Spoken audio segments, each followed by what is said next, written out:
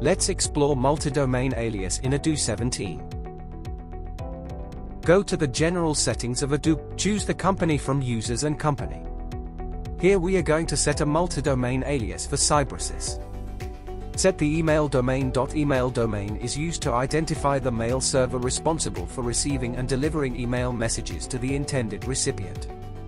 A bounce alias is used in email delivery and management to refer to undeliverable email messages.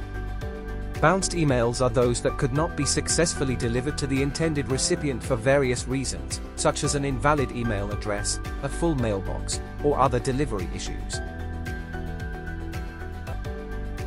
Catch-all email alias is an email address configuration that allows you to receive emails sent to any email address at a specific domain.